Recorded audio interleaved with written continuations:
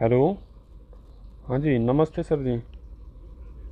जी, मैं ये पूछ रहा आपसे कि नुहू हिंसा में दो आरोपियों को एनकाउंटर किया गया?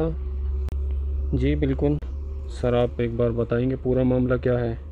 जी तो मामला ये है, नुहू हिंसा के बाद हरियाणा पुलिस कार्रवाई में जारी है। 10 अगस्त को हरियाणा पुलिस नुहू हिंसा के दो आरोपियों के साथ मुठभेड़ हुआ, जिसके दौरान एक आरोपी के पैर में गोली लगी जिससे घायल अवस्था में हॉस्पिटल में भर्ती कराया गया है। ये एनकाउंटर नूह से 16 किलोमीटर दूर तावड़ू के इलाके में हुआ। हरियाणा पुलिस के मुताबिक उसे सूचना मिली थी कि नूह हिंसा के शामिल रहे, जो रह चुके। राजस्थान के दो ताव दो लोग तावड़ू जा रहे हैं। जब पुलिस ने उन्हें तावड़ू से जाने से रोका, उन्होंने चला दी गोलियाँ। जवाबी कार्रवाई के पुलिस अधिकारियों ने भी तुरंत उन पर गोलियाँ चलाई।